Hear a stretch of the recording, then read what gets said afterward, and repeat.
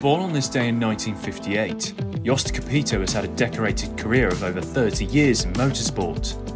A Paris-Dakar winner, Capito has worked for BMW's M Sport division, managed racing programs at Porsche, had a part to play in bringing Kimi Raikkonen to F1 at Sauber, has won WRC titles and management roles at Ford and VW, and had a short stint as McLaren CEO in 2016.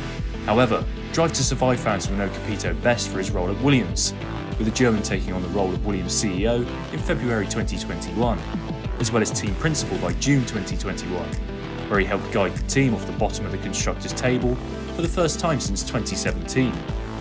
This year, Williams is sadly back at the bottom of the standings, with Capito's unenviable task being that of lifting the once great team back to competitive ways.